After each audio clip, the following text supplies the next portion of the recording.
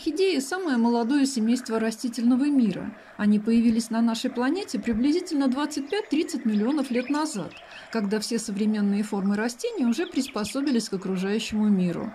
Другими словами, все места уже были заняты. На Земле, недавно освободившейся от вод, было тесно. Тропические виды орхидей избрали свой путь и, покинув негостеприимную Землю, взобрались на деревья – Орхидеи умеренной полосы страдали не столько от тесноты, сколько от недостатка внимания со стороны опылителей. Все уже было разобрано. Ярко окрашенные, пахнущие сладким нектаром цветки предназначались для пчел, мелкие белые, собранные в соцветия, для подслеповатых жуков. Муравьям предлагались сочные и съедобные выросты на лепестках. Мух привлекал запах тухлятины, свойственный, например, боярышникам. Орхидеи были в недоумении – эволюция свернула с проторенного пути честной борьбы за существование и направилась вместе с орхидеями по кривой дорожке обмана.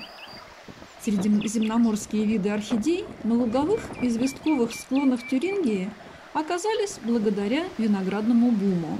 Виноградные лозы привозили из Италии и Франции в корзинах вместе с землей, а в них оказывались семена луковицы и клубней растений. Виноградный бум закончился, а орхидеи остались – и среди них офрисы.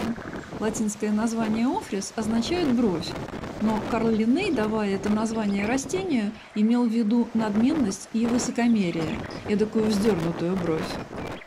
Высокомерные офрисы – большие мистификаторы. Запах их цветков неразличим для человека. Они выделяют феромоны – летучие вещества, сходные по составу с секретом желез насекомых, и воздействуют тем самым на инстинкты продолжения рода потенциальных опылителей – Насекомые находят такой цветок даже в темноте, ориентируясь по запаху. К тому же цветки офрисов размером, цветом, формой и расположением пятен и рисунков имитируют самок, готовых к спариванию. У цветков офрис насекомоносный, например, центральный крупный лепесток, губа, похож на тело насекомого со сложенными крыльями, блеск которых имитирует серо-голубые полоски – Боковые лепестки похожи на усики, пятна напоминают глаза. В целом цветок удивительно удачно имитирует облик самки насекомого.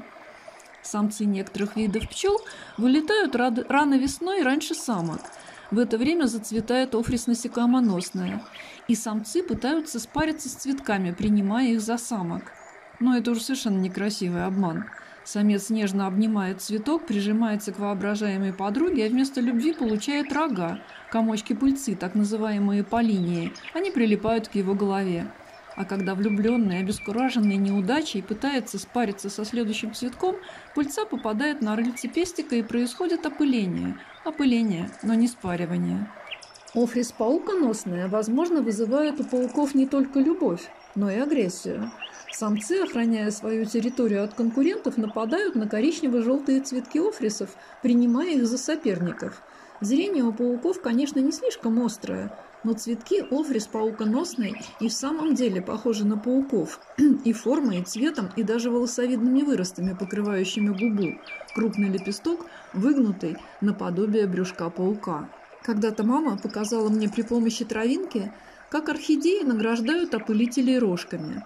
Если заглянуть внутрь цветка, два комочка пыльцы по линии хорошо видны.